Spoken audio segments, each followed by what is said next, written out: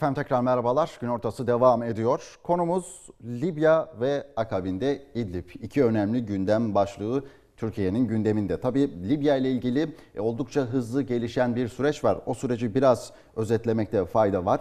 Ee, ilk olarak e, Libya ile ilgili Rusya'da devam eden ateşkes görüşmelerinde e, Hafter masayı terk etti. Önce Rusya'yı terk etti. Ardından dün Rusya'dan gelen açıklamalar vardı. Hafter'in e, ateşkes anlaşmasına sıcak baktı ancak iki gün süre istediği yönünde açıklamalar vardı. Ancak bununla beraber e, sahada da yeni gelişmeler olmaya devam ediyor. Birleşik Arap Emirlikleri'ne ait zırhlı araçlar e, Hafter güçlerinin ana karargahı olan Terhuni'ye ulaştığına dair bilgiler var. E, Rusya'dan gelen açıklama Hafter'in ateşkese yakın olduğu yönündeydi ancak sahadan çatışma haberleri de geldi. Bu süreçte Hafter'e bağlı güçler Trablus'un güneyindeki iki kente roket attı. Şimdi süreci biraz özetledim. E, bu konuları konuyu konuşacağız ayrıntılı bir şekilde. Vatan Partisi MYK üyesi Osman Erbil stüdyo konumuz. Efendim hoş geldiniz yayınımıza. Hoş Yine e, birazdan da emekli büyükelçi Uluç Özülker Skype bağlantısıyla yayınımıza bağlanacak. Bu konuları konuşacağız. Sayın Erbil şimdi süreci ben kısaca bir özetledim. E, bununla beraber şimdi burada önemli olan bir ayrıntı var. Aslında Hafter, Rusya ve Türkiye gibi iki önemli büyük gücün karşısında duramayacağını biliyor muhakkak ama bununla beraber yine e, sahadaki çatışmaları tekrar başlattığını görüyoruz. Hafter e, bu saldırılar neyi amaçlıyor bu süreçte? Evet. Şimdi tabii Libya meselesi e, Türkiye'nin doğrudan içinde olduğu bir mesele ve Libya konusunda biz e, ciddi bir mekik diplomasisi inşa etmiş durumdayız. Evet. E, son yapmış olduğumuz girişimlerde de Rusya ile başlatmış olduğumuz e, işbirliği ve sonrasında yapılan görüşmeler tabii e, bu sürecin geleceğini belirleme açısından çok önemli. Şimdi Hafter e, az önce belirtmiş olduğumuz e, adımları attı ama yani Hafter tek başına değil. Hafter bunları tek başına icra edebilecek güce sahip değil. Dikkat ederseniz Kimin Mos- desteğiyle? Evet, dikkat ederseniz Moskova'da yapılan görüşmede yani Saraç'la Hafter arasında ortak bir masa kuruldu bunları bir araya getiren Türkiye ve Rusya'nın inisiyatifiyle. Ee, bu görüşmede iki taraf da önüne anlaşma metni koyduktan sonra bir taraf imzaladı. Yani bizim desteklediğimiz Saraç hükümeti destek imzaladı. Maalesef e, Hafter güçleri bu im- metne imza atmadı ve dedi ki bana bir gün daha mühlet verin. Ben bunu işte o Libya'daki aşiretlerle konuşayım. Aslında Hafter aşiretlerle konuşmaya gitmiyor. Hani Hafter'in bunu müzakere edeceği güçler aşiretler değil. Kimler? Batı ülkeleri. Amerika başta olmak üzere. Amerika ve Fransa hemen ardından geliyor. Bu ülkelerle müzakere edecek. Yani e, aslında buradaki Libya'nın barışını sağlama, iç huzurunu sağlama girişimleri, diplomasisi Amerika ve Fransa tarafından bozulmaya çalışılıyor. Yani diyor, diyorlar ki Batı siz oyun kurucu olmayın. Türkiye ile Rusya bunu söylüyorlar. Evet. Sizin yönlendirmenizle, inisiyatifinizle Libya meselesi çözülmesin. Neden? Çünkü o ülkelerin Libya sahasında ekonomik menfaatleri var. Nasıl menfaatler bunlar? Doğalgaz ve petrol menfaatleri. Şimdi e, bir kere Erdoğan ve Putin'in Türk akımı e, dolayısıyla Putin'in Türkiye'ye geldiğinde yapmış olduğu açıklama son derece önemliydi. İki tarafta dediler ki biz 12 Ocak'ta bir ateşkes istiyoruz. Ve bu ateşkese de uyuldu. Yani 12 Ocak saat 00'da iki tarafta dedi ki ben bu ateşkese varım. Ancak aradan bir süre geçti. Türkiye Rusya'dan sonra ikinci adımı İtalya ile yaptı. İtalya Başbakanı Conte ile Sayın Cumhurbaşkanı bir görüşmesi oldu. Sayın Erbil çok kısa araya giriyorum. Emekli Büyükelçi Uluç Özülker de yayınımıza katıldı. Sayın Özülker hoş geldiniz yayınımıza. Ee, birazdan size de e, birazdan size de söz vereceğim. Ee, Osman Erbil ile Vatan Partisi MYK'yası Osman Erbil ile konuşuyoruz. Ee, tekrar e, bir 5 dakika sonra size söz vereceğim. Sayın Erbil devam edelim. Evet. Şimdi İtalya Rusya'nın hemen ardından İtalya Başbakanı Conte ile Cumhurbaşkanı Erdoğan'ın görüşmesinde yine benzer çağrılar yapıldı. Denildi ki Hafter ve Saraç güçlerini biz ateşkese davet ediyoruz. Bu da çok önemliydi. Bakın aynı saatlerde 13 Ocak gününden bahsediyorum. Moskova'ya da e, diplomatik girişimleri yürütmek üzere bir Türk heyeti gitti. Bizim Dışişleri Bakanımız oradaydı. ve diğer e, dışişlerinden yetkililer orada bulundular. Orada ne yaptık? Rusya Dışişleri Bakanı ile birlikte Hafter güçlerinin e, ve Saraç yetkililerinin orada bulunmasını sağladık. E, Onları bir araya getirdik. Birisinin diğerine sunmuş olduğu öneriyi ve şartı müzakere etmelerini sağladık. Bu çok önemliydi. E, Ama az önce söylediğimiz gibi Hafter buna imza atmaktan çekindi. Şimdi e, bu Moskova buluşmasını aslında şunu gösteriyor. Türkiye Libya meselesini de yine Rusya ile birlikte çözecek. Bölgedeki dikkat ederseniz Suriye meselesi de benzer bir şekilde ilerliyor. Astana mutabakatı çerçevesinde biz Rusya krizini de stratejik ortağımız olan Rusya ile birlikte çözmeye çabalıyoruz. Maalesef Batı ülkeleri de Amerika'da bu girişimleri ellerinden geldiğince baltalamaya için. çalışıyorlar. Ee, bu şimdi 12 Ocak 13 Ocak günü bu çağrı yapıldı. İşte hem Türkiye'de İtalyan Başbakanı varken hem Moskova'da Dışişleri Bakanımız oradayken. Ee, ama şimdi artık ne oldu? Aradan bir süre geçtikten sonra süre doldu ve Hafter'den şöyle bir yanıt geldi. Yani biz bize tanınan süreye de ek bir süre istiyoruz. iki gün daha mühlet istiyoruz denildi. Ama bu yapılırken aynı zamanda da Tobruk'taki meclisten şöyle bir mesaj geldi. Biz ateşkesi tanımıyoruz. Evet. E, Şimdi bunlar tabii yapmış olduğumuz e, girişimleri sonuçsuz bırakan adımlar. O zaman gözler nereye dönüyor? Şu an için Hafter güçlerinin Trablus'a doğru bir yığınak yaptığı haberleri geliyor. E, Buradan şu görülüyor. Yani Berlin süreci 19 Ocak'ta yapılacak. Bu Berlin sürecinde görüşmelerinde e, başta Birleşmiş Milletler Güvenlik Konseyi üyeleri olmak üzere diğer ülkelerde Türkiye'de olmak üzere Türkiye, Almanya, İtalya, Birleşik Arap Emirlikleri, Cezayir, e, Mısır gibi ülkelerde buraya da olacaklar. E, Bu iş biraz da Berlin görüşmelerine kalmış gibi görünüyor. Ama aslında bizim amacımız Türkiye olacak olarak beklentimiz şuydu. Berlin görüşmeleri öncesinde biz ateşkesi sağlayarak o görüşmelere gitmiş olsaydık e, o Türkiye ve Rusya'nın işte birlikte Libya meselesinin çözümünde daha fazla inisiyatif sahibi olmasını da sağlayacaktı. Şimdi burada önemli olan şey şu. Biz neden Libya'da varız? Neden bu kadar Libya'ya müdahil olmak istiyoruz? Bizim isteğimiz kadar neden Fransa ve İtalya bu işin içerisinde, Amerika neden bu işin içerisinde? Bir kere bu bu meseleyi e, konuşmamız ve tartışmamız gerekiyor. Evet. Ee, asker olmadan, Türkiye oraya asker göndermeden yalnızca diplomasiyle bu mesele çözülebilir mi? Mesela birileri de diyor ki mesela Cumhuriyet Halk Partisi, Ana Muhalefet Partisi ve İyi Parti genel başkanları çok net bir şekilde Türkiye'nin oraya asker göndermesine karşı çıktılar. Ee, ve son yapmış oldukları meclisteki açıklamalarında da dediler ki işte hükümet bizim söylediğimize geldi. Biz diyorduk ki Birleşmiş Milletler bu işin içerisinde olsun. Türkiye oraya asker göndermesin. Ee, Ondan sonra ve Birleşmiş Milletler yani Türk askerinin yerine Birleşmiş Milletler Barış Gücü devreye girsin diyorlardı. Evet. Biz de orada şunu söylüyoruz. Ee, hükümet de yine bu yönde adım atıyor. Bu çok sevindirici bir şey. Diyoruz ki Türkiye bu masada olacaksa, bu masada ağırlığını koyacaksa o zaman caydırıcılığının söz konusu olması gerekiyor. Caydırıcılık neyle olur?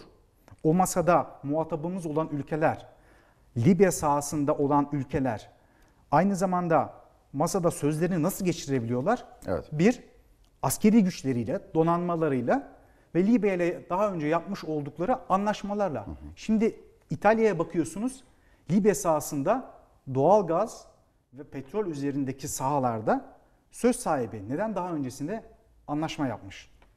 Fransa'ya bakıyorsunuz. Bakın Fransa Libya'nın komşusu mu? Hayır, komşusu değil. Biz komşusuyuz. Mısır komşusu. Fransa komşusu değil. Ama ne yapıyor Fransa'da? Daha öncesinde maalesef e, Libya'daki bu iç karışıklık e, sebebiyle bunu bir fırsata çevirip e, burada mevcut hükümette anlaşmalar imzaladılar ve Libya'nın o doğal gaz ve petrol kaynaklarını sömürmek için oradalar. Evet. Ama Peki. bizim burada bir hemen şunu söyleyeyim.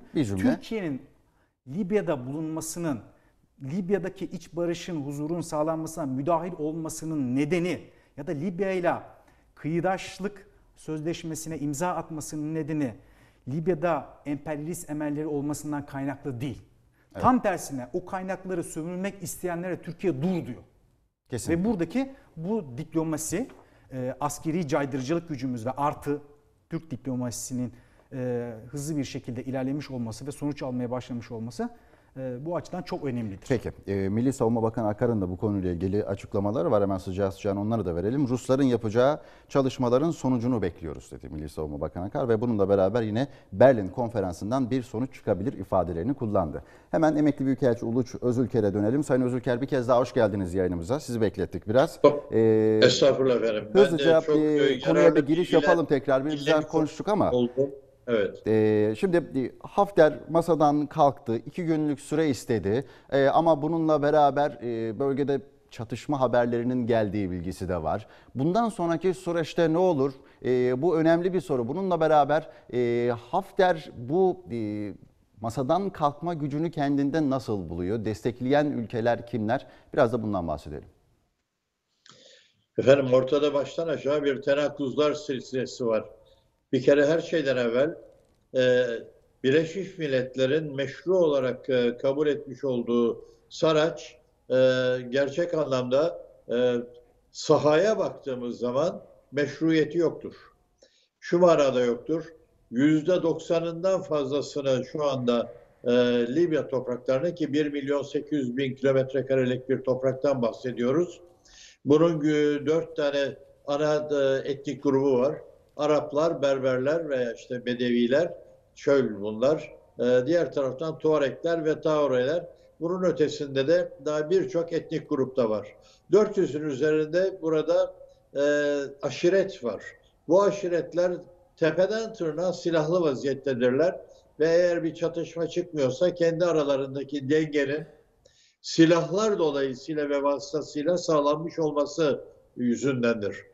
Şimdi böyle baktığımız zaman e, Hafter Tuareg bölgesinde bir e, üstünlük sağlamak gibi bir derdi yok. Çünkü o tam güneyde. E, orayı bir kenara bırakın ama onun dışında e, geri kalan tarafların tamamında hakimiyetini tesis etmiş vaziyette. Şimdi burada biraz da bir ikinci husus var. Onu da dikkate almak lazım bir cevap verebilmek için sorunuza net olarak. Efendim Kaddafi aslında bir diktatördü ve yukarıda çok güçlü bir ordu ve aynı zamanda istihbarat teşkilatıyla bu silahlı aşiretleri falan e, kendi aralarındaki dengeyi yukarıdan da kontrol etmek suretiyle ülkeyi yönetebiliyordu. Fakat e, e, burada çok önemli husus her yıl ortalama bir veya iki defa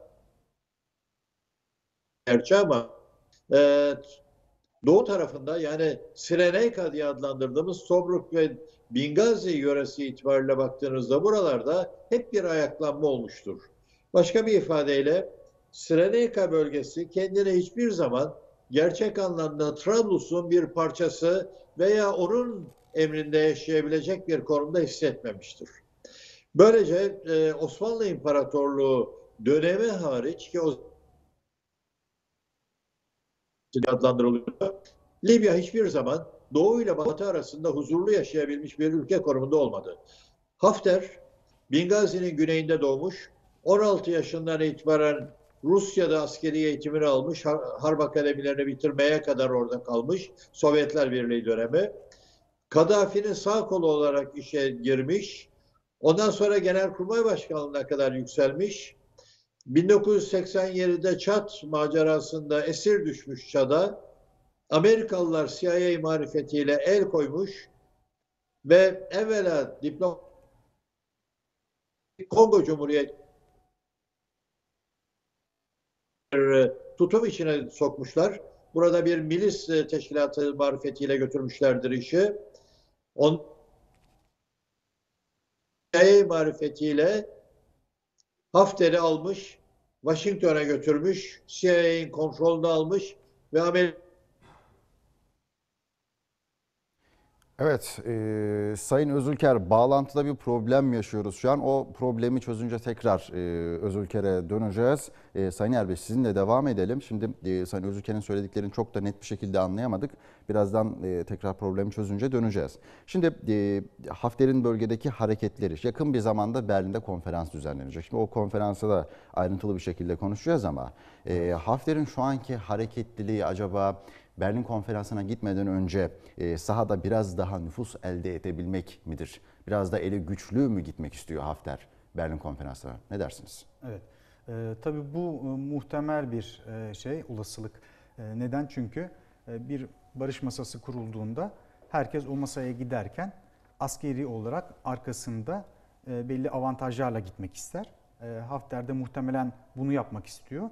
Ama e, şu ateşkes sürecinin baltalanmasındaki esas hedefin yani Rusya bu zamana kadar Hafter'i destekleyen güçlerden biri olmasına rağmen e, ve Hafter'in de Rusya'nın onun askeri desteğine ihtiyacı olmasına rağmen şimdi Rusya devredeyken böyle bir adım atması, ateşkesi bozuyor olması az önce belirttiğim gibi Hafter'in arkasındaki başka güçlerin de devreye girmesinin bir sonucu.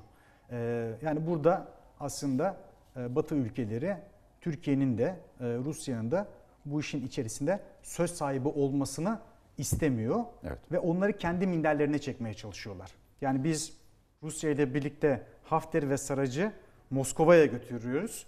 Orada iki tarafı uzlaştırmaya çalışıyoruz. Onlar da diyorlar ki hayır siz oraya gitmeyeceksiniz. Ee, Bizim masamıza geleceksiniz. O masada e, bizim istediğimiz şekilde e, Libya'nın geleceğini şekillendireceğiz diyorlar. E, tabii burada emperyalist hedefler var. Bu çok açık bir şekilde görülüyor. İşte e, burada anlatılması gereken bence mesele şudur. Yani Türkiye özellikle Doğu Akdeniz'deki egemenlik hakları, Mavi Vatan'daki egemenlik hakları dolayısıyla Libya meselesinde önemli bir aktör olarak sahada olmak zorunda. Evet. Bizim açımızdan bunun kaçışı yok.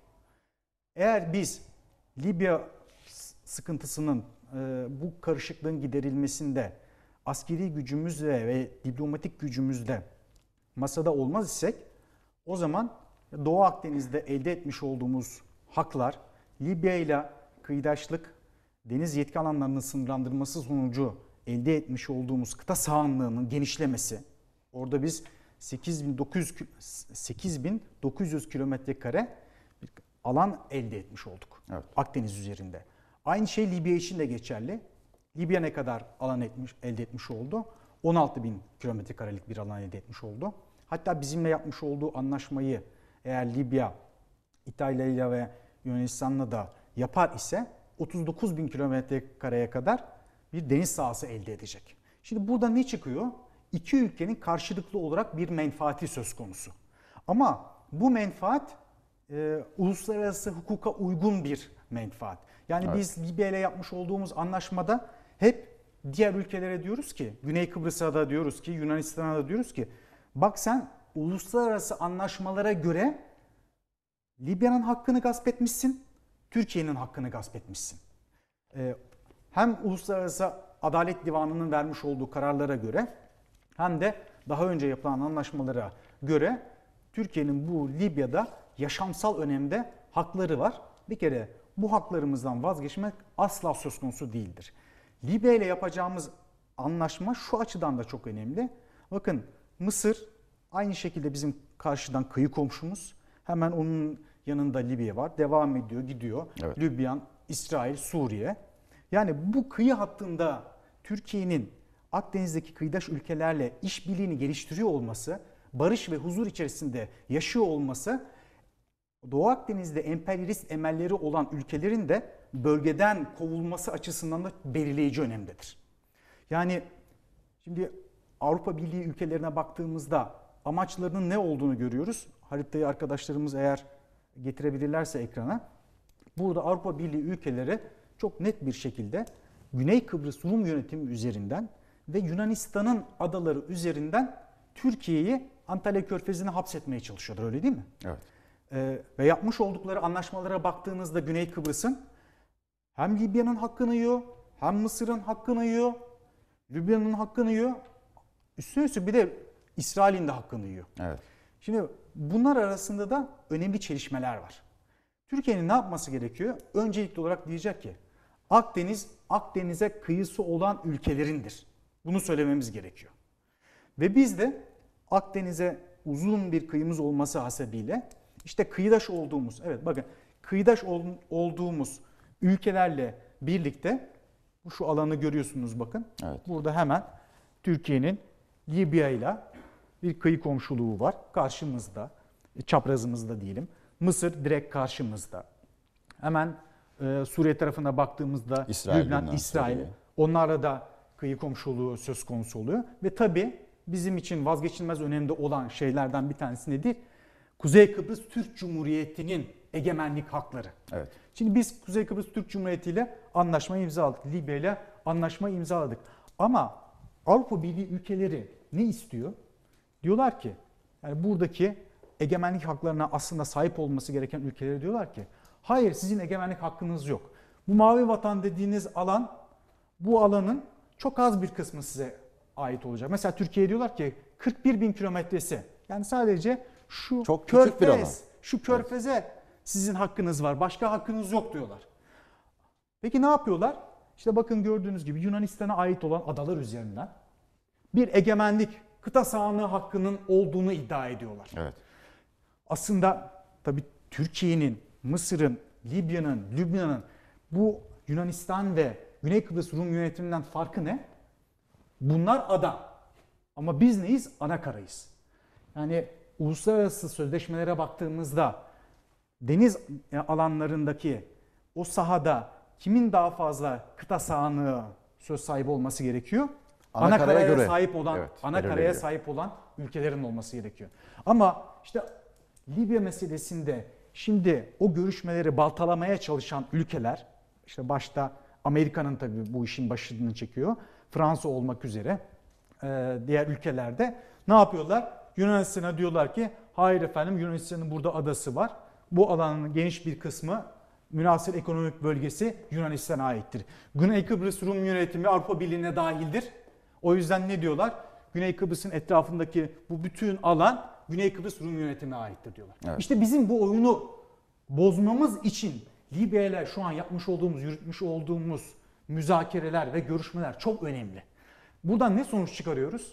Aslında Libya'da masaya otururken, burada söz sahibi olurken Doğu Akdeniz'de söz sahibi oluyoruz. Bunun Cumhurbaşkanı Erdoğan çok gerekiyor. önemli bir e, Burada- açıklama yapmıştı Evet. Libya ile bu süreci devam ederken. Eğer bu hareketleri biz yapmazsak e, Akdeniz'de bize olta atacak e, sahil vermeyecekler, Vermezler. bırakmayacaklar dedi. Bizi Antalya Körfezi'ne hapsederler. Aynen Evet. süreci çok güzel özetleyen bir cümleydi aslında Evet. o. Şimdi bakın burada dikkat çekilmesi gereken ülkelerden bir tanesi de Mısır.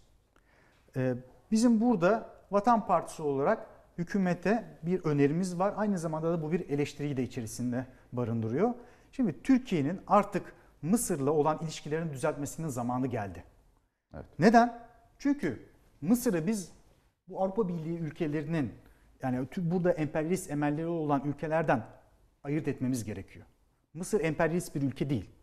Mısır'ın Türkiye'nin topraklarında gözü yok. Mısır'ın ikinci efendim Kürdistan diyebileceğimiz bir bölge inşa etme gibi bir hedefi yok. Ama kimin var? Amerika Birleşik Devletleri'nin var. İsrail'in var. Değil mi? O yüzden birinci olarak bizim şunu yapmamız gerekiyor.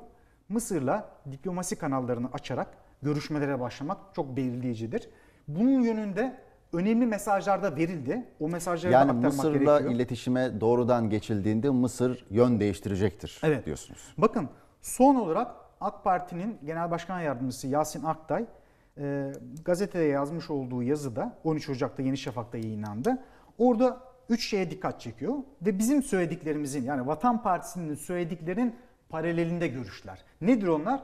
Diyor ki Mısır'la olan anlaşmazlığımız bize pahalıya mal oluyor. Evet. Evet. Yani burada ne yapmış oluyor emperyalist ülkeler? Bakın Mısır'la bizim aramızı bozarak, aramızdaki anlaşmazlığı daha fazla körükleyerek, Mısır'ı yanlarına çekerek bu alandaki vermiş olduğumuz mücadelede kendilerine bir müttefik elde etmiş oluyorlar. Biz de diyoruz ki biz Mısır'ı onlardan koparalım. Emperyalist ülkelerden koparalım. Bakın Mısır çok önemli bir adım attı 2019 yılının başlarından itibaren. 2017 yılında Amerika Birleşik Devletleri Trump Mısır'ı ziyaret ettiğinde bir Arap NATO'sundan bahsetmişti ve Mısır'ı oraya dahil etmeye çabalamıştı. Evet. Mısır önce bu görüşmelere katıldı ama 2019'a geldiğimizde ne oldu? Mısır şunu ilan etti. Ben artık Arap NATO'sunda yokum. Yani Amerika'ya dedi ki İran'ın çevrelenmesi konusunda senin projelerine dahil olmayacağım. Ve bu çok önemli bir mesajdı. Arap NATO'sunda yokum dedi. Sadece bunu mu yaptı? İran'la ilişkilerini de geliştirdi. Bakın Mısır'ın İran'la ilişkilerini geliştirmiş olması özellikle 2016 senesi çok önemlidir. Suudi Arabistan'la arası bozulurken Mısır'ın hani biz hep Mısır'ın başında Mursi için diktatör darbeyle iktidara geldi vesaire falan diyoruz. O dönemlerde Sisi'nin Sisi. iktidara geldiği dönemde arasının en iyi olduğu Suudi Arabistan'la Mısır yönetimi 2015'e 2016'ya baktığımızda Suudi Arabistan'la arası bozulurken İran'la arası düzelmeye başladı. Ve çok önemli karşılıklı hamleler yapılmaya başladı. Aynı şey Suriye için de geçerli. Bakın biz sürekli ne diyoruz? Mısır'la aramızı düzeltmemiz gerekirken Suriye'yle de aramızı düzeltmemiz gerekiyor. Ve şimdi tabii çok önemli görüşmeler yapılıyor. Hakan Fidan MİT Başkanı ile Evet, Suriye o konuya ayrıntılı gireceğiz evet, birazdan. Başkanı arasında. Aynı şeyi İran'da yaptı biliyor musunuz? Ve Suriye ile İran, Suriye arasını, Mısır arasını düzelterek e, Suriye'nin o dönemki, o dönemki istihbarat başkanının. Mısır'a gitmesini sağladı. Burada önemli olan şey şu. Yasin Aktay'ın sözüne ve görüşlerine gelecek olursak ne diyor? Mısır'la bu sorunlar bize pahalıya mal oluyor ve İslam dünyası arasında nifak doğuruyor. E, buradan vazgeçmemiz lazım çünkü Mısır'la kaderimiz, kaderimiz bir. Bu çok önemli. Diyor ki Libya ile yaptığımız anlaşmayı Mısır'la da yapalım. Çünkü Mısır'ın daha önce e, Güney Kıbrıs Rum yönetimiyle yapmış olduğu anlaşmadan 15.500 kilometre karelik kaybı var. Evet. Yani biz Mısır'a diyoruz ki eğer Güney Kıbrıs Rum yönetimiyle değil de bizimle anlaşma yaparsan o zaman 15.500 kilometre kare deniz sahasını sen elde edeceksin. Çünkü bu senin hakkın diyoruz. Aynı söylediğimize benzer bir şekilde görüş bildiriyor AK Parti'nin hem sözcüsü hem de genel başkan yardımcısı. Üçüncüsü ne diyor? İsrail Güney Kıbrıs Yunanistan'la Hemen toparlayalım. ittifak ittifak yapmaya çekiyorlar Mısır'ı. Bunu Mısır'a kim zorluyor? Bu dayatmada kim bulunuyor? Aslında diyor İsrail, Güney Kıbrıs ve Yunanistan'a karşı diyor bunlar diyor Mısır'a aynı zamanda e, amiyane tabirle kazık atıyorlar. Bizim diyor Mısır'ı onlara karşı ittifak e, potansiyelimizin içerisine sokmamız gerekiyor diyor. Evet. Bu Ee, açıdan e, yapmış olduğu şeylerde e, bizim görüşlerimizde de paralellik taşıyordur. Umarım Türk Dışişleri Mısır'la bu diplomasinin geliştirilmesi adına e, önemli adımlar da atar. Evet. Ee, Sayın Özülker tekrar hoş geldiniz yayınımıza. Ee, bağlantıda evet, bir bir problem yaşamıştık. sorunu. Ee, şimdi Libya'yı ayrıntılı Evet, bir şekilde konuştuk evet. ama sizin e, birkaç cümleniz yarım kalmıştı. O yarım kalan cümleleri tamamlayalım Libya ile ilgili. Ardından hemen e, İdlib'i konuşacağız. İdlib'le ilgili sorum olacak. Size tekrar sözü bırakayım. Efendim e, zaten e, bütün teferruat konuşuldu. Yalnız ben burada e, daha önce anlattıklarımı e, tamamlamak babında e, üç tane e, satır başı halinde üç noktaya değinmek istiyorum. Evet. Birincisi e, her elvekarda Hafter güçleri e, artık e, 7 kilometre mesafede yeniden çatışmaya başlamış durumdalar. Burada e, başlangıçta evet deyip arkasından kaçmasının da temel nedeni son dakikaya kadar da oyalamasının e, sahada olabildiği kadar güç kazandıktan sonra bir şekilde masaya oturmak şeklinde değerlendirilebilir diye bakıyorduk. Ama bugünkü koşullarda galiba bu mesele biraz daha ileriye gitmiş vaziyette ve Hafter ben zaten %90'ına sahip olduğum bir toprak bütünlüğü içinde ve tam işin sonuna gelirken evet demek suretiyle nasıl bir çözüm bulabileceğim bundan şüphem var deyip de kaçmış gibi geliyor bana. Şimdi bu netice itibariyle de çok basitçe ifade edersem, izah edersem şöyle. Normal olarak e, diyelim ki masaya oturuldu, bir empati yaparak gidiyorum.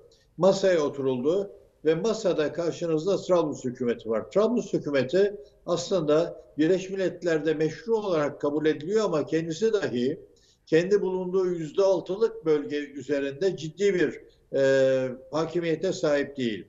9 kişilik bir e, geçici e, e, başkanlar e, konsey olaraktan e, burası atanmıştı. 2017'den itibaren nihai bir statü verilecekti. O da yapılamadı. Şimdi bu koşullar altında e, Hafter'le masaya oturup da uzlaştırmaya kalktığınız zaman Hafter'e sen buradan çekileceksin ve bundan sonra yine Trablus'un himayesi altına gireceksin, onunla birlikte yaşamayı öğreneceksin derseniz bunu kabul ettirmek pek kolay olmayacaktır gibi geliyor bana. Ve şu sırada fiilen sahada da ciddi bir üstünlük sağlamış olan Hafter eğer Trablus'u ele geçirirse o zaman da Türkiye yönünden bizim ekonomik alanımız ortadan kalkıyor ki Hafter bunu da ilan etti. Bu da bizim yönümüzden fevkalade riskli bir sonuç olur. Dolayısıyla Türkiye ikili yönden sıkışmış vaziyettedir. Diğerlerinin umurunda değil efendim. Bundan eminim. Her elbekarda Berlin'de de bir araya gelinecek. Hafter de katılabilir. Onda da bir sorun yok. Ama bütün bunlar sonuç itibariyle Hafter'in geri adım atıp da bir eşitlik statüsü içine girmeyi kabul edebileceğinin göstergesi değildir. Şimdi burada ikinci bir husus daha var. O da aslında e, çok önem taşıyor. E, Hafter normal olarak e, Bingazi Tobruk yöresinin temsilcisi ve halihazırda 60 bin kişilik bir güç, silahlı kuvvet vesaire bütün bunları da elinde bulundurmakta. 300'e yakın tankı var sadece ve son zamanlarda Birleşik Arap Emirlikleri daha da takviye etti. Şimdi bu koşullar altında kendi menfaatimi ki menfaatim için oradayım hiç kuşkum yok. Çünkü öbür türlü güç dengesine baktığım zaman Trablus'un arkasında bulunmak bana ne kazandırır onu çok bilmiyorum. Kazandırdığı yapmış olduğum anlaşmadır. Şimdi bu koşullar altında orada bir çökmeye doğru bu iş giderse Türkiye buraya bir muharip unsur gönderip bizzat savaşa mı girecek? Bunun da imkan ve ihtimali olduğunu ben şahsen düşünemiyorum. Çünkü hem çöl şartlarında orada çok zor bunu yapmak hem de daha şimdiden 7 e, kilometre mesafedeki Hafter'e karşı organize olmak vesaire bunlar da kolay işler değil. Dolayısıyla Rusya'nın Cumhurbaşkanımız da bunu çok net olarak ifade etti ve haklıdır. Dedi ki ben bugüne kadar yapmam gereken her şeyi yaptım ama bundan sonrası Rusya'nındır. Şimdi Rusya'da Putin benim daha evvel anlattığım kapsam içinde zannetmiyorum ki güçsüz olsun. Ama Rusya'da acaba burada başka bir hesap peşinde Hafter'le de mi bir ilişki içinde bir oyun oynamaktadır onu da kestiremiyorum doğrusu. Çünkü netice itibariyle Rusya'da bunca yıl kalmış ve ne olup ne olmadığı belli olan Hafter üzerinde hiçbir etkinliği yoktur dersem bu doğru olmaz. O zaman e, ciddi şekilde tehditleriyle birlikte Hafter'i yola getirmekte kolaylıkla mümkün iken bunun için yapılmamıştır onu da sorgulayabiliyorum. 19'unda e, yapılacak toplantı başlangıçtaki önemini yitirmiş midir diye tartışılıyor. Fakat benim şahsi görüşüm Hafter buraya katılmadığı takdirde kaybeder. Çünkü eğer orada gerçek anlamda Türkiye-Rusya ikilisinin inisiyatifiyle bir karar çıkarılıp sonuç alınabilirse bu aynı zamanda Hafter'le ilgili olarak da bir sonuç olacaktır. Çünkü bir tarafta meşruiyeti dolayısıyla bizim desteklediğimiz ama bunun ötesinde peşinen ateşkesi kabul etmiş olmak dolayısıyla mağdur duruma düşürülmüş bir Trablus var. Diğer tarafta da bu defa bir müstevli haline gelmekte olan reddetmek suretiyle bir Hafter var. Dolayısıyla orada bundan e, sadece Fransa, e, Türkiye, Amerika, Rusya vesaire değil çok daha geniş kapsamlı bir ülkeler grubunun alacağı bir kararla Hafter'in üzerine gidildiği takdirde zannediyorum ve işi biraz daha zorlaşabilir. Ama burada Hafter'in müzakere masasına oturmakta zorlandığı takdirde dahi elinde çok ileri kozlarla buraya gidip çok daha fazla imkan ve kabiliyet yaratarak kendi lehine avantajlı çıkmak peşinde olduğunu da düşünmek mümkündür diye bakıyorum. Şu anda durum çok karışık ama burada en kritik noktada bulunan da bizim ne yazık ki ekonomik bölgeyle ilgili geleceğimiz. Ee, bizim ne yapabileceğimiz veya yapmaya, yapmayabileceğimiz e, ortada. Ama ben gene söylüyorum e, e, Fırat'ın doğusunda da aynı şey oldu. Amerika ve Rusya zımnen kendi aralarında anlaştıktan sonra biz oraya asker gönderemedik efendim. Burada da eğer böyle bir anlaşmayla karşımıza çıkarlarsa bizim orada bir silahlı güç olarak savaşa girebilmemizi kabul edebileceklerini tahmin etmiyorum. O zaman işimiz çok daha büyür ve zorlaşır. Onun için çok ince bir diplomasi ve e, herhalde bu diplomasiyi de çok ciddi bir müzakere kabiliyetiyle götürmek Evet. lazım. Sayın Onun için Özülker, 19'una gidip bu, bu şekilde bitirmeye Evet. gayret etmeliyiz. Evet. Sonrasına da bakarız diye e, şahsen değerlendiriyorum. Evet. Şimdi Sayın Özülker e, bir diğer önemli gelişme tabii e, Libya'da oldukça önemli ama İdlib'de oldukça önemli bir konu. Onunla ilgili de bir size soru sorayım son olarak. E, MİT Başkanı Hakan Fidan ve Suriye Muhar- e, Muhaberat Başkanı Ali Memlük Moskova'da bir araya geldi. E, bununla beraber görüşmede 9 maddelik bir çerçeve çizildi ve bu çerçeveye göre hareket edilmesi kararlaştırıldığı belirtiliyor.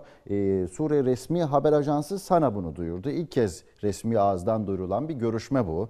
E, görüşmeyle ilgili bundan sonraki süreçte sahaya yansımaları ne olur? O İdlib düğümüyle ilgili e, birkaç cümle alayım sizden. Efendim İdlib konusu aslında e, çok daha geniş kapsamlı bir sorun. E, şöyle ki e, Suriye'yi Amerika ile Rusya fiilen böldüler. Bunu biliyoruz. Yani Fırat'ın doğusunda e, bir Kürt bölgesi olarak ayırmış vaziyette. Fakat bunun dışında Rusya iki tane de üssü var. Bunlar da İdlib'in biliyorsunuz de denize bakan tarafındadır. E, Rusya burada artık güneyden komşumuz oldu ve resmen burada oturmaktadır. Hal böyleyken e, daha henüz burada e, Halep'ten ve diğer yerlerden gelmiş olan 40 bin civarında mesela Tahrir el-Şam veya El-Kaide e, e, teröristleri var. Bunlarla ilgili olarak dahi herhangi bir şey yapılamamış durumda ve Suriye'nin Fırat'ın doğusundan geri kalan kısımlarda ne Rusya ki onun desteğindeki dolayısıyla rejim yönünden hakim olamadığı bir noktada bulunduğu bir statü var. Şimdi dolayısıyla e, zannediyorum M4, M5 e, e, karayollarını ele geçirebilecek şekilde bir harekat başlattılar ve götürüyorlar. Tabiatıyla burada siviller de ciddi şekilde etkileniyor. İkiye bölerek burada da satır başı halinde söylüyorum e, teferruatına girmeden. Bizim için en önemli sorun burada mülteci sorunudur efendim. Oradan bize gelecek olan göçtür. Bunu durdurmak çok önemli. E, dolayısıyla bunun ötesinde tabii insani yardımlar vesaire bunlar da önemli ama Türkiye yönünden en önemli sorun göç. Şimdi bununla ilgili acaba diyorum ben e, ki başka yerlerden de bunu duydum.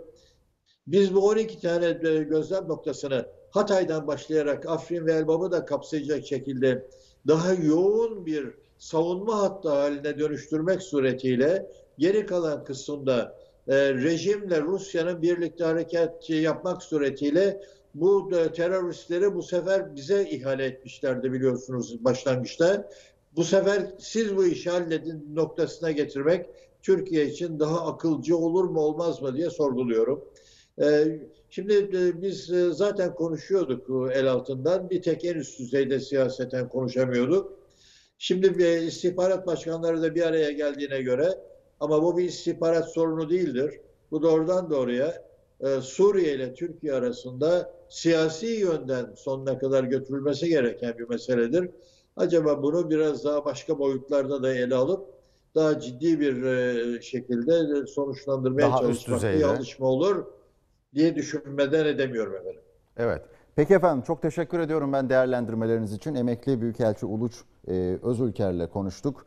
Değerlendirdik. İyi yayınlar diliyorum. Çok sağ olun efendim. E, önemli değerlendirmelerde bulundu. Sayın Erbil sizinle devam edelim. Birazdan yine sözünüzü böleceğim. Bir 5 dakika sonra Ankara'ya döneceğim. E, ama biz devam edeceğiz yine.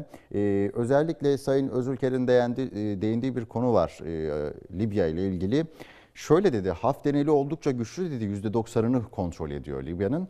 Ee, Sarac'ın etkisi altına girmek isteyecek midir acaba gibi ifadeler kullandı.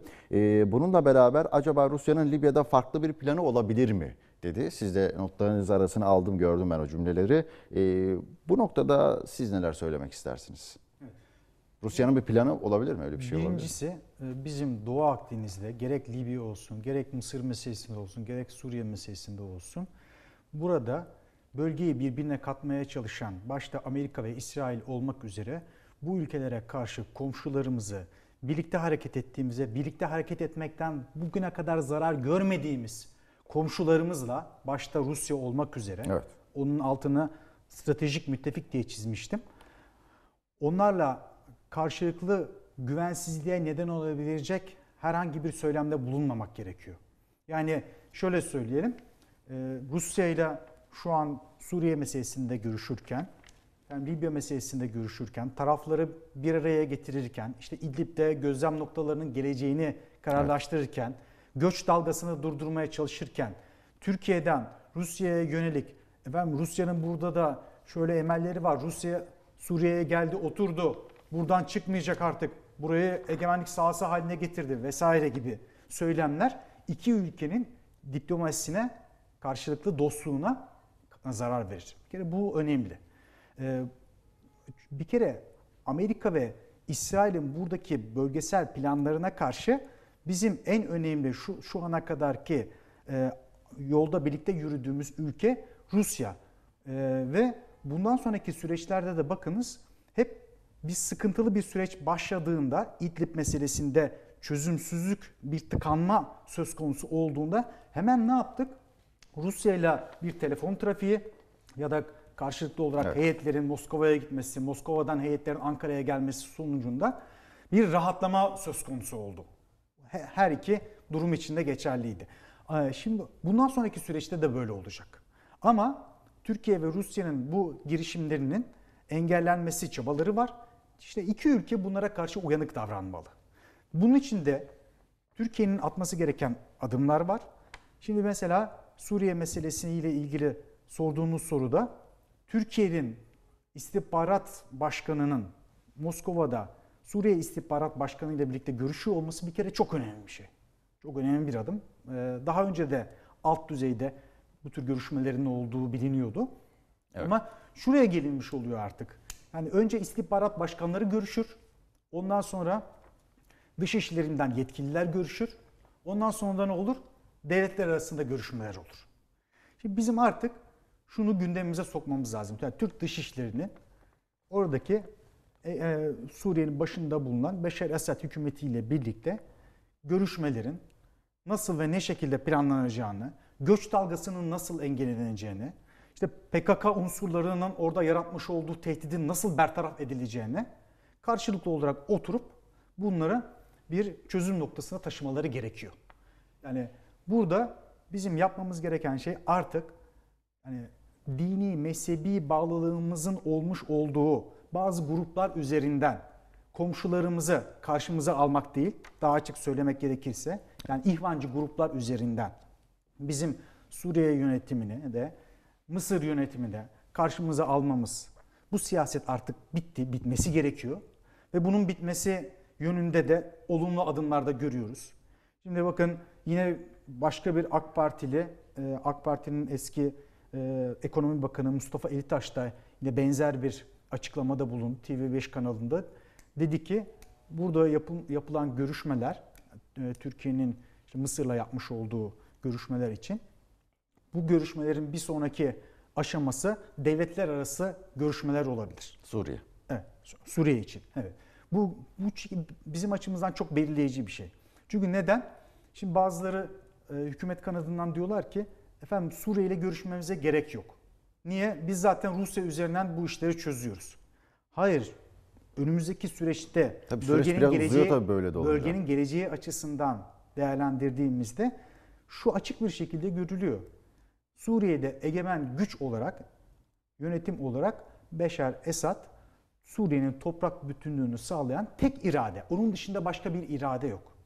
Ve biz Suriye'nin geleceğini eğer birlikte komşumuz olarak barış ve huzur içerisinde yaşaması yönünde şekillendireceksek eğer o zaman bugün yapmış olduğumuz gibi işte alt düzeydeki istihbarat düzeyindeki görüşmelerin bir sonraki aşamaya da taşınması gerekiyor. Burada hemen şu e, noktaya e, vardırmaya çalışıyor birileri. Yani Tayyip Erdoğan'la Beşar Esad el sıkışsın, görüşsün vesaire gibi.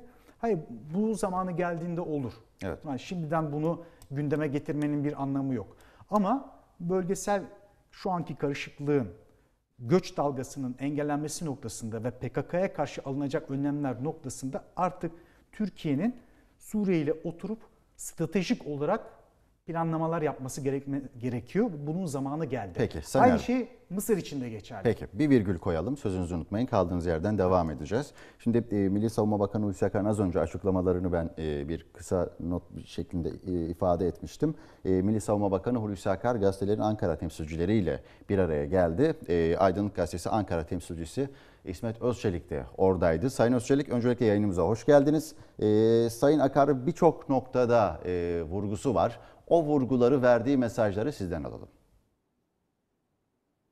Şimdi Sayın Akar'ın e, gazetecilerin, gazetelerin Ankara temsilcileriyle yaptığı kahvaltıda verdiği mesajlar hakikaten e, önümüzdeki sıcak e, olaylar açısından da önemli.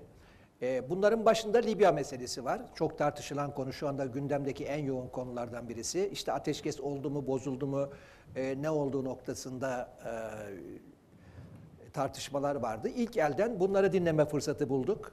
Ee, Moskova'daki yapılan süreci anlattı. Ee, Evet. ateşkesi sona erdirecek olan imzalanacak metinde bir sorun olmadığını söyledi. Yani burada herhangi bir tartışma yok. Şu olmasın, bu olmasın tarzında bir tartışma yok. Ee, ancak e, Hafter'in yani biz dedi Rusya'yla e, kendi e, Trablus'taki hükümete bunu onaylattık.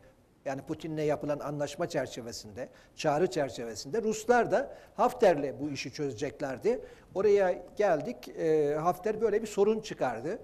E, Yani metinde bir itirazı yok, e, çalışmalarda herhangi bir itirazı yok. Ancak e, bir şekilde e, Moskova'dan ayrıldı dedi ve oradaki e, yaşananları anlattı. Evet. Burada e, Akar'ın e, dikkat çeken bir e, ifadesi oldu. Bu da şu, Türkiye-Rusya inisiyatifinden rahatsız olanlar olduğuna dikkat çekti. Evet. Yani e, bunu hep daha önce de konuşuyoruz. Yani bölgedeki tüm sorunların çözümü e, artık e, Batı başkentlerinde değil, Asya'nın başkentlerinde e, olmaya başladı.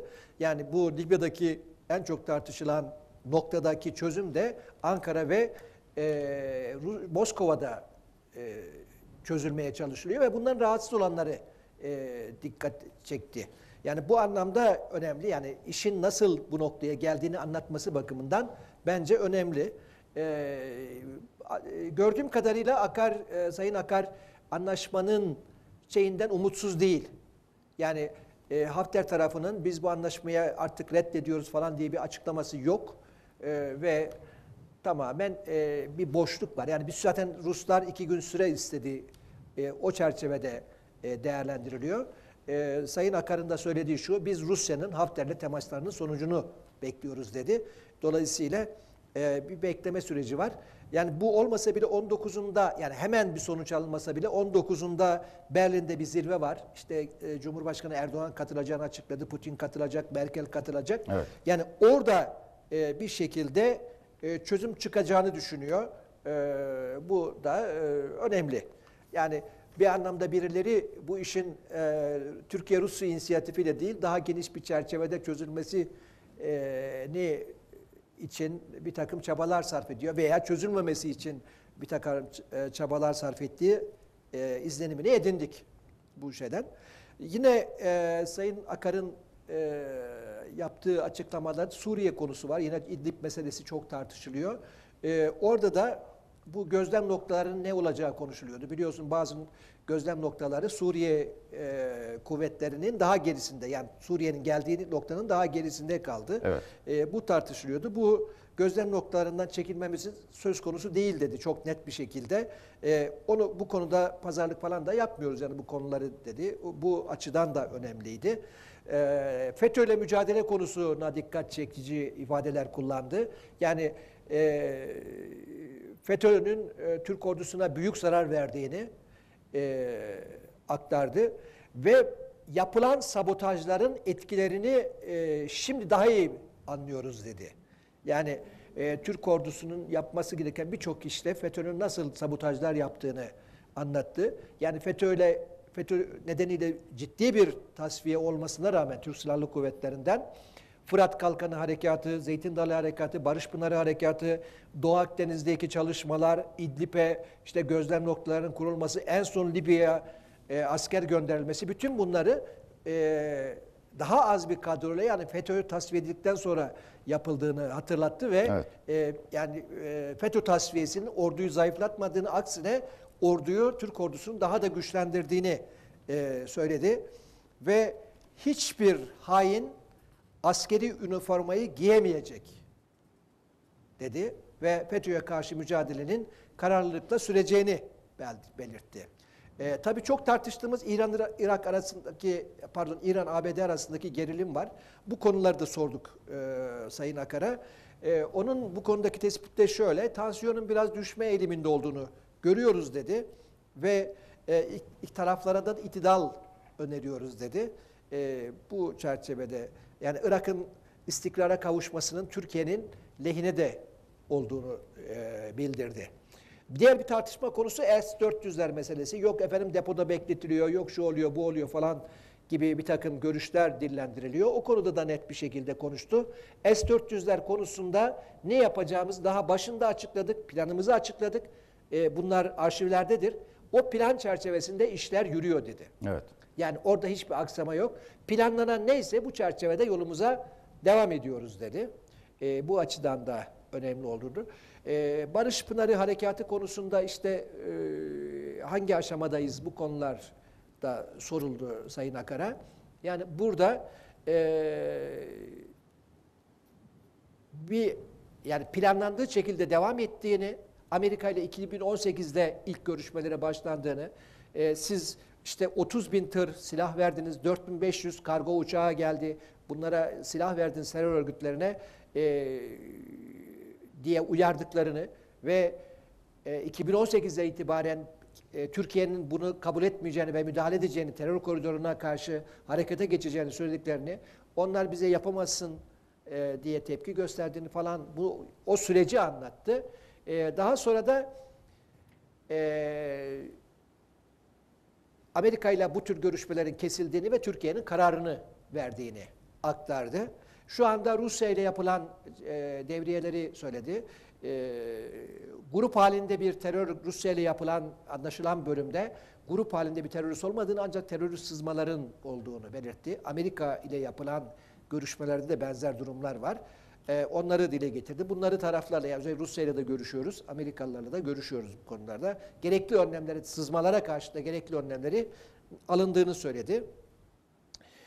Ee, daha sonra tank palet fabrikası da sorduğumuz sorulardan birisiydi. Yani Türkiye e, e, kendi savunma sanayisini geliştiriyor. E, silahlı, silahsız İHA'ları yaptığımızı, gemi tasarımını ve e, bir gemiyi inşa ettiğimizi, e, topları yaptığımızı e, aktardı ve tank Evet. da bizim ihtiyacımız, tank da yapmak istiyoruz dedi. Olayı bu çerçevede değerlendirmek gerektiğini söyledi. Esas olaraktan e, kısaca özetlemek gerekirse e, Sayın Milli Savunma Bakanı Hulusi Akar'ın verdiği mesajlar böyle. E, Libya konusu sıcaklığını koruyor. E, Libya'ya Türk askeri ne kadar var, e, gitti mi gidecek mi konuları var. Libya ile bir savunma ve güvenlik ve işbirliği anlaşması, askeri iş- güvenlik ve işbirliği anlaşması yapıldığını söyledi. Oradaki e, eğitim, danışmanlık gibi bir takım e, hizmetlerin yürütüldüğünü söyledi. Bir koordinasyon merkezi kurulduğunu ve orada ihtiyaca göre e, kaç sayının azalıp çoğaldığını bildirdi. Evet. Sayın Özçelik peki teşekkür ediyorum e, aktardıklarınız için. Aydınlık Gazetesi Ankara temsilcisi İsmet Özçelik, e, Milli Savunma Bakanı Hulusi Akar'ın gazetelerin Ankara temsilcileriyle e, yaptığı toplantıda, kahvaltıdaydı. E, Milli Savunma Bakanı oldukça önemli mesajlar birçok noktada, birçok gündem başlığı ile ilgili önemli mesajları var. E, onları aktardı. Şimdi özellikle dikkat çeken noktalardan bir tanesi e, Türkiye-Rusya inisiyatifinden rahatsız olanlar var cümlesini kullanmış e, Milli Savunma Bakanı Hulusi Akar. Aslında az önce siz de biraz değindiniz o konuya ama üst düzeyden de böyle bir yorumun geliyor olması aslında olayı çok açık bir şekilde ifade ediyor değil mi? Evet. Yani burada sorulması gereken soru şu. Hafter Moskova görüşmesinde Rusya'dan bir günlük süre istedi ya sonra da onu iki güne çıkardı. O bir günlük ve iki günlük süre içerisinde kimlerle görüştü? Evet. Öyle değil mi? birilerinden icazet almak için e, o süreyi istedi. Bu çok bir şey, açık bir şekilde ortada. Şimdi o yüzden O iza- şimdi, icazeti alamadı. Tabii o icazet birileri dedi ki ona sakın ha sen Türkiye ve Rusya'nın inisiyatifinde olan bir sürece girme. Bu neye benziyor? Türkiye'nin Rusya ile birlikte İran'la birlikte Astana sürecinin girmesi, o sürecin işlemesi, başarılı sonuçlar elde edilmesi ve Cenevre masasının da artık gereksiz bir hale gelmesi. Yani Astana süreci dediğimizde bölge ülkeleri var. Bölgenin gerçek sahipleri var. Bunun içerisinde tabii İran olması dolayısıyla, Rusya olması dolayısıyla Suriye'de bu Astana sürecinin zaten içerisinde. Evet. Oraya Suriyeli muhalif gruplar da geliyorlar. Suriyelilerle de e, dolaylı olarak da görüşmüş e, yapmış oluyorlar. Görüşme, müzakere yapmış oluyorlar. E, Bu açıdan bakıldığında ne oluyor? Batı'nın planı yani Cenevre Sözleşme gö- görüşmeleri devre dışı kalırken bölge ülkelerinin başında olduğu, inisiyatif sahibi olduğu e, süreçlerde e, barış görüşmeleri de önümüzdeki günlerden itibaren de daha da kendisini e, göstererek, kendisini masada ağırlığını hissederek ortaya çıkacak. Sayın Erbil. İdlib meselesi tabii ona Hemen bir cümle lazım. alalım. Hemen yine bir virgül koyup Ankara'ya İdlib gitmemiz meselesi gerekiyor. tabii sıkıntılı bir süreç. Neden? Orada Türkiye'nin kontrol edebildiği gruplar var, edemediği gruplar da var. Edemediği gruplar belli ölçülerde Amerika, CIA ve İsrail Mossad'a bağlı gruplar. O grupları hatırlarsanız sınıra gelerek Tayyip Erdoğan'ın posterini yakanlar ve Türk bayrağını yakan gruplarda onlar. Evet. Ee, Türkiye ve Suriye ve dolayısıyla İran'da ne zaman bu İdlib meselesini çözmeye kalksa orayı karıştırmaya çalışan bir Amerikan parmağı her zaman oldu. Ama şimdi bakın ne oluyor? Oradaki sivil unsurlar tasfiye edilerek, o tahliye edilerek daha doğrusu belli kanallar açıldı. Orası rahatlatılıyor ve şimdi artık İdlib meselesi önümüzdeki günlerde çözülecek. Peki. Yine Libya üzerinden konuşalım ama birazcık iç siyasete doğru dönelim. Şimdi Libya konusunda kim nerede durdu biraz o konuyu konuşalım. Muhalefetin tutumunu nereye koyarsınız Libya konusunda? Evet. Bakın gördüğünüz gibi e, iktidarın Libya meselesi olsun, Suriye meselesi olsun, Mısır meselesi olsun biz Vatan Partisi olarak yapılması gerekenlere ilişkin önerilerimizi sunuyoruz. E, Eleştirilerimizi de söylemekten geri durmuyoruz.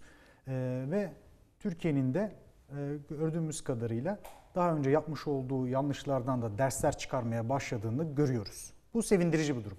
Ama ana muhalefet partisine baktığımızda ve onunla birlikte işbirliği yapan Cumhuriyet Halk Partisi'nin seçim ortağı olan İyi Parti'ye baktığımızda HDP'yi saymıyorum. Zaten onlar Türkiye karşıtı ne varsa, Türkiye'nin aleyhinde ne varsa Her zaman Türkiye'nin karşısında. parmak kaldırırlar, onu desteklerler.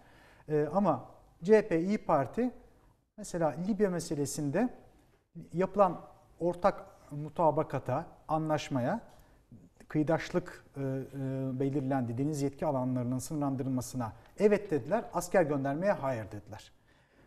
Yakın bir zamanda Kılıçdaroğlu dedi ki oraya Türk askeri gitmesin, Birleşmiş Milletler barış gücü gitsin dedi. Şimdi bu çelişkili bir durum. Neden çelişkili? Çünkü adını zikrettiğimiz ülkeler, bu işin içerisinde olan, masada olan ülkeler, işte Hafter'in arkasında duran güçler, bakıyorsunuz sözlerini geçirebilmek adına, oradaki ekonomik menfaatlerini koruyabilmek adına askeri güçleriyle oradalar. Evet. Askeri gücü olmayan, sahada herhangi bir caydırıcı e, kuvveti bulunmayan bir ülkeyi kim ciddiye alabilir ki?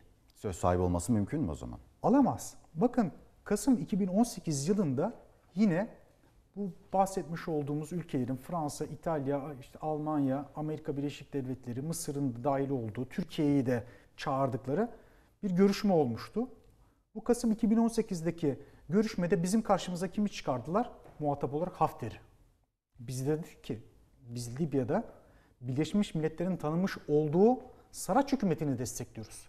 Hakeza Birleşmiş Milletler de zaten bunun meşru olduğunu ilan etmişti. Evet. Ne yaptık? O masadan kalkmak zorunda kaldık. O dönemlerde bizim caydırıcı bir gücümüz yoktu. Ama şimdi ne yaptık? Libya ile yapmış olduğumuz e, o mutabakat çerçevesinde anlaşma iki tarafında meclisinden onaylandı bu.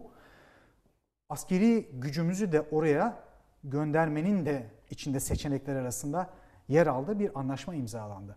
İşte bu caydırıcılıktır. Şimdi e, Cumhuriyet Halk Partisi diyor ki Türk askeri gitmesin, Birleşmiş Milletler askeri gitsin. O zaman şöyle demiş oluyoruz. Türkiye masaya oturduğunda elinde karşı tarafı caydıracak herhangi bir askeri gücü bulunmayacak demiş oluyoruz. Bunu savunmuş oluyoruz. E o zaman Doğu Akdeniz'deki çıkarlarımızı nasıl savunacağız? Yani münasır ekonomik bölge alanımızda bizden alınmaya çalışılan e, o yüzlerce kilometre, binlerce kilometre karelik alanda e, biz e, sözümüzün geçerli olmasını nasıl sağlayacağız? Donanmalar Doğu Akdeniz'de bize Evet. karşı tatbikat yapıyor. Amerikan gemileri, İsrail donanmaları öyle değil mi? E şimdi Libya için de aynı şey söz konusu. İşte İtalya orada, Fransa orada. Onların yine desteklediği askeri unsurlar o sahanın içerisindeler. O yüzden muhalefetin şu anki tutumu izah edilebilir bir tutum değildir. Ee, ve maalesef bu Birleşmiş Milletler'e göre Birleşmiş Milletler bu işin içerisinde olabilir. O ayrı. Ama biz bu işin aktörleri olarak hem diplomasiyi hem de askeri gücümüzü caydırıcı olarak kullanırız, devreye sokarız. Ondan sonra da Birleşmiş Milletler'e de deriz ki, Birleşmiş Milletler bak senin şemsiyenin altında tarafları uzlaşmaya çağırıyoruz. Yani tıpkı Rusya ile yaptığımız o görüşme gibi. Peki. Ama Ee, biz orada tükettik. yokken bir cümleyle hemen Evet, toparlayalım. Biz orada yokken e, askeri gücümüzü kullanmazsak eğer orada işte karşı ülk- tarafta Hafter'i destekleyen devletler bize karşı o satranç masasında ellerindeki kozları kullanırlar e, ve bizi sıkıştırırlar. Biz de Libya ile yapmış olduğumuz anlaşmada elde etmiş olduğumuz ekonomik e, menfaatleri e, maalesef elde edemeyiz. Evet. Şimdi muhalefetin başka noktalardaki tutumları da var. Onu da değerlendirelim. Ee, özellikle HDP ve HDP'liler noktasında e, tutumu var. Şimdi Demirtaş ve Sakine Cansız'ın kitaplarının e, İstanbul Büyükşehir Belediyesi kitapçılarının raflarında olması konusu. İki gündür bu konuyu konuşuyoruz. Özellikle Vatan Partisi olarak bu noktada değerlendirmeniz ne olur? Onu da çok kısaca 2-3 cümleyle alalım. Bu bir skandal tabii. Ee, Bununla ilgili Genel Başkanımız Sayın Doğu Perinçek e, yapılan Mehmetçiğe sıkılan bir kurşundur ifadesini kullandı. E, Gerçekten de bizim Mehmetçiğimiz cephede mücadele ederken Güneydoğu Anadolu bölgesinde sınırın ötesinde Suriye'de PKK ile çatışırken aynı şekilde polislerimiz yine şehirlerimizde bizim güvenliğimizi sağlarken göğsünü kurşuna siper ederken bir İstanbul Büyükşehir Belediyesi PKK'lıların yani bizim vatandaşlarımızı öldüren, askerimizi öldüren, polisimizi şehit eden kişilerin, teröristlerin onların anlatıldığı kitapları bazılarını işte bunların HDP'nin eş başkanı Selahattin Demirtaş yazdı. Ondan sonra e, diğerleri doğrudan o teröristlerin propagandasının yapıldığı kitaplar. Bu kitaplar İstanbul Büyükşehir Belediyesi'nin kitapçılarında raflarda yerini aldı. Yani bunu ne şekilde izah edebilirsiniz? Şimdi Büyükşehir Belediye Başkanı Ekrem İmamoğlu diyor ki işte bunlar diyor devletin diğer kurumları tarafından da onların kitapçılarında da satılıyor ya da internet üzerinden de satışa sunuluyor. Yani bu sizin yaptığınız işin meşru olduğunu, haklı olduğunu göstermez ki. Eğer orada da satılıyorsa ona da karşı çıkarız. Evet. Hatta bu kitapların yasaklanması için elimizden geleni yaparız. Bunun hukuki sürecinin başlatılması için gerekli girişimlerde bulunuruz. Yani sizin söylemeniz gereken şey budur. Sonra topu Kültür Bakanlığı'na atıyorlar. Kültür Bakanlığı işte efendim buna bandrol basmış. Yani Kültür Bakanlığı değil ki o kitabı yasaklayacak, onu oradan kaldıracak kurum. Yani bunun bir mahkeme sürecinin olması gerekiyor. O kitapların terör propagandası nedeniyle yasaklatılması ve toplatılması gerekiyor. Bu işin diğer bölümü ama sizin Büyükşehir Belediye Başkanı olarak söylemeniz gereken şey şudur. Diyeceksiniz ki benden önce bu işler başlamış. Biz bu bizim dikkatimizden kaçtı. Eğer kaçtıysa yani bilerek orada tuttuysanız orada da vahim bir yanlış vardır. Diyoruz ki biz sizin burada kendinizi izah etmeniz lazım ve teröre karşı olduğunuzun, o propagandadan yana olmadığınızı anlatmanız lazım. Ama tam tersi kendilerini şöyle bir savunmayla anlatmaya çalışıyorlar. Efendim bunu de başkaları yapıyorsa biz de yaparız. Aynen Benzer ifadelerle Evet. İmamoğlu bunu söyledi. Burada çok Peki. ciddi bir e, siyasi olarak yanlış vardır ve bu yanlıştan geri dönülmesi gerekiyor. E, İmamoğlu'nun şehitlerin ailelerinden, gazilerimizden af dilemesi gerekiyor. Kendisini affettirmesi gerekiyor.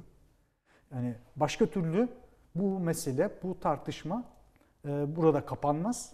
E, eğer tabii orada geri adım attılar, kitapları kaldırdılar. Doğru bir şey yaptılar onu kaldırmakla. Ama bakıyorsunuz İmamoğlu'nun eşine, Kılıçdaroğlu'nun Hemen toparlayalım eşine, bir cümleyle. Kılıçdaroğlu'nun eşine baktığınızda Selahattin Demirtaş'ın eşiyle birlikte doğum günü partileri yapıyorlar.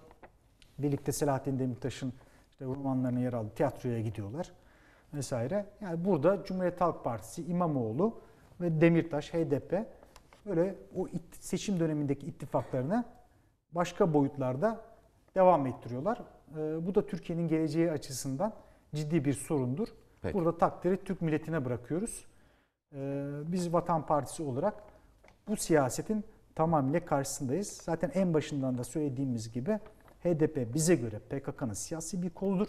Siyasi kolu olduğu için de HDP'nin kapatılması gerekiyor ve bu yargı sürecinin bir önce Sayın Erbil çok gerekiyor. teşekkür ediyorum Ben değerlendirmeleriniz için. Değerli izleyenler Vatan Partisi MYK üyesi Osman Erbil ile konuştuk. Oldukça uzun bir sohbet oldu. Birçok konuya değindik. Hem Libya konusu hem İdlib konusu hem de İstanbul Büyükşehir Belediyesi raflarında e, bazı kitapların satılması, Demirtaş ve Sakine Cansız'ın kitaplarının bulunması bu konuyu konuştuk, değerlendirdik.